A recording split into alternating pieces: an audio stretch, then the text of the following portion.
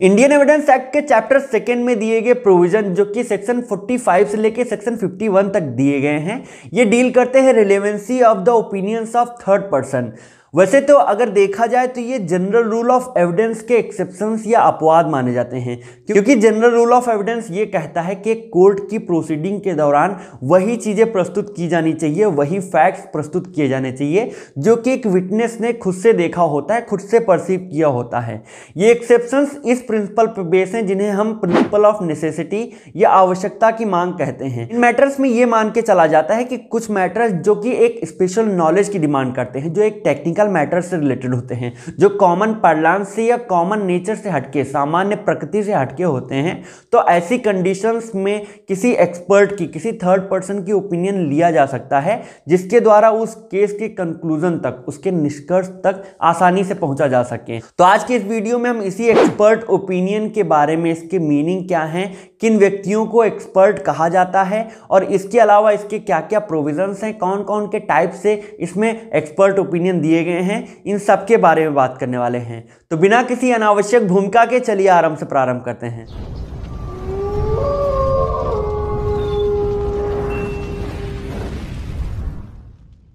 इस कोड के सेक्शन 45 के अनुसार एक एक्सपर्ट उसी व्यक्ति को कहा जाएगा जो इसमें दिए गए पाँच सब्जेक्ट्स में स्पेशल नॉलेज रखता है, एक महारत रखता है, जिसमें पहला जो सब्जेक्ट है, वो फॉरेन लॉ का है, दूसरा साइंस का, तीसरा आर्ट का, चौथा हैंडराइटिंग का और पांचवा फिंगर इम्प्रेशन का है। इस सब्जेक्ट में अगर कोई व्यक्ति अपने खुद के नॉलेज से, अपने ऑब्जर्वेशन से या अपने एक्सपीरियंस से या अपने स्टडी की वजह से, जिसमें उसने अपना अच्छा खासा टाइम स्पेंड किया है, इसकी वजह से उसमें कुछ स्पेशल स्किल्स रखता है स्पेशल एक्सपीरियंस रखता है तो वो एक्सपर्ट कहा जाएगा। इसमें में कई केसेस के बाद ये स्टैब्लिश किया गया है, ये सेटअप किया गया है कि एक एक्सपर्ट बनने के लिए ज़रूरी नहीं है कि व्यक्ति के पास एक फॉर्मल सर्टिफिकेट ही हो।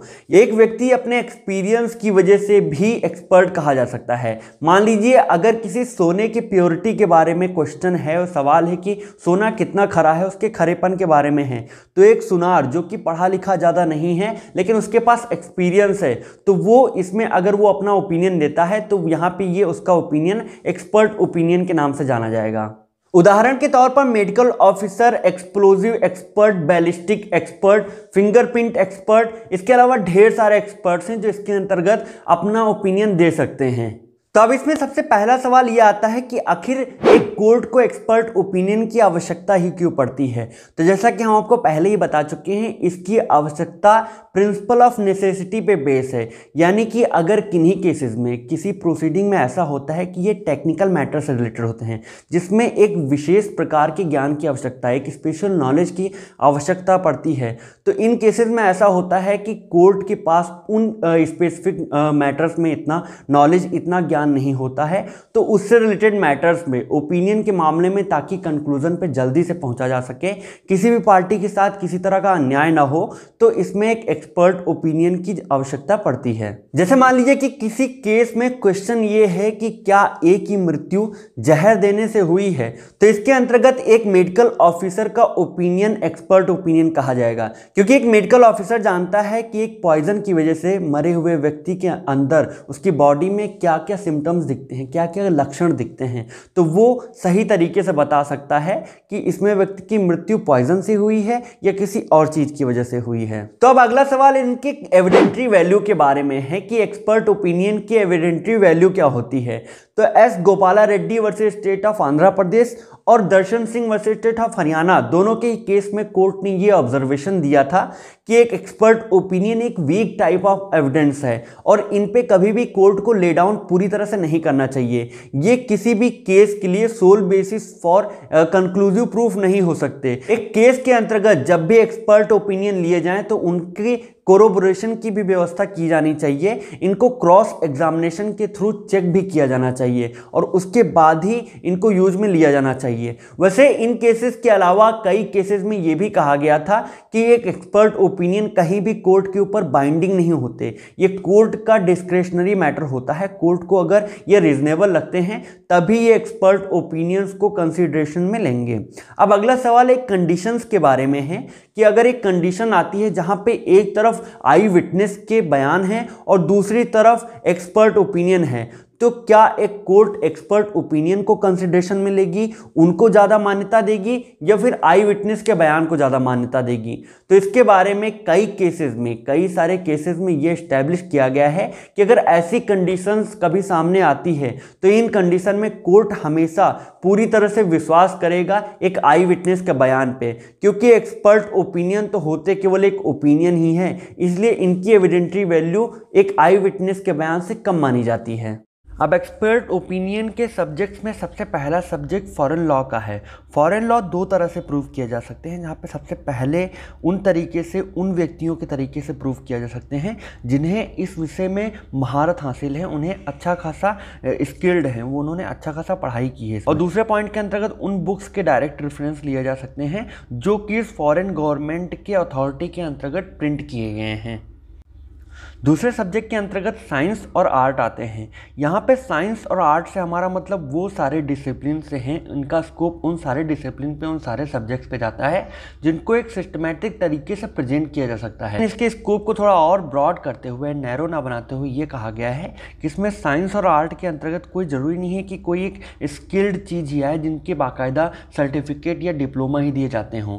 इसके अंतर्गत हमारे सामान्य जीवन से डेली रोज़मर्रा की चीज़ों से रिलेटेड सारे ट्रेड्स सारे हैंडीक्राफ्ट्स और बाकी के प्रोफेशंस भी आते हैं। तीसरा सब्जेक्ट हैंड राइटिंग का है, जहाँ पे इस कोड में दिए गए प्रोविज़न के अनुसार एक हैंड राइटिंग एक हैंड राइटिंग एक्सपर्ट द्वारा दो डॉक्यूमेंट्स को लगभग बराबर कंपेयर करके निकाले जा सकते हैं, जहाँ पे पहला ओरिजिनल डॉक्यूमेंट होगा और दूसरा थोड़ा सस्पेक्टेड डॉक्यूमेंट होगा। कोर्ट के द्वारा कई केसेस में ये भी कहा गया है कि एक हैंड राइटिंग वीक एविडेंस है वीक टाइप का एविडेंस है, और इस पर पूरी तरह से कोर्ट को ले डाउन नहीं करना चाहिए। यानी इनको भी क्रॉस एग्जामिनेशन के थ्रू बाकी के फैक्ट्स के थ्रू प्रूव किया जाना आवश्यक आवश्यक है। चौथे सब्जेक्ट के अंतर्गत फिंगरप्रिंट एक्सपर्ट आते हैं। फिंगरप्रिंट एक्सपर्ट के ओपिनियन भी सेम एज अदर एक्सपर्ट्स की तरह रेलिवेंट होते हैं। लेकिन इसमें भी कोर्ट द्वारा ये कहा गया है कि फिंगरप्रिंट एक्सपर्ट के भी ओपिनियन को भी पूरी तरह से कंक्लूसिव प्रूफ नहीं माना जाना चाहिए। इसमें बाकी के सरकमस्टेंसेस बाकी के प्रूफ से भी इनको प्रूव किया जाना, उनका सहारा लिया जाना इसमें आवश्यक होता है। इसके पाँचवें सब्जेक्ट के अंतर्गत हम बैलिस्टिक एक्सपर्ट के ओपिनियन को इंक्लूड कर सकते हैं। जहाँ पे बैलिस्टिक एक्सपर्ट के ओपिनियन से हमारा मतलब किसी गन से चले बुलेट या कार्ट्रिज के द्वारा उनको ट्रेस करके उनका पता लगाना कि आखिर ये कितने बजे चले होंगे, उनकी टाइमिंग क्या रही होगी और ये किस गन से चले होंगे। तो इन सब के बारे में जब एक एक्सपर्ट अपनी राय देता है तो उन्हें बैलिस्टिक एक्सपर्ट कहा जाता है। और सबसे लास्ट में इसमें हम एविडेंस ऑफ़ ट्रैकिंग डॉग्स को लाते हैं। यहाँ पे एविडेंस ऑफ़ ट्रैकिंग डॉग का मतलब ये हुआ, जैसे फ़िल्मों में सीन में कभी कभी होता है किसी क्राइम के सीन का पता लगाने के लिए डॉग्स का, जो कि बाकायदा ट्रेंड डॉग्स होते हैं, दक्ष होते हैं, वो अपने काम में एक्सपर्ट होते हैं, उनका सहारा लिया जाता है। तो उनके बिहेवियर को एनालाइज करके उनका ट्रेनर जो भी एक ओपिनियन देता है, वो इसमें यहाँ पर रिलेवेंट माने जाएँगे। लेकिन इसमें भी Abdul Razak versus state of Maharashtra के केस में ऐसा कहा गया था था कि इन एविडेंसेस को इन प्रूफ्स को भी पूरी तरह सोल बेसिस नहीं माना जाना चाहिए। बाकी के फैक्ट्स और सरकमस्टेंसेस को ध्यान में रख के ही कोर्ट को ये आ, कोई फैसला देना चाहिए कोई डिक्री देनी कभी कभी कुछ केसेस में ऐसा होता है कि उन डॉग्स के बिहेवियर भी ऐसे होते हैं जो पहचान में नहीं आते उनको रिकोगनाइज किया जाना उनको एनालाइज किया जाना संभव नहीं हो पाता।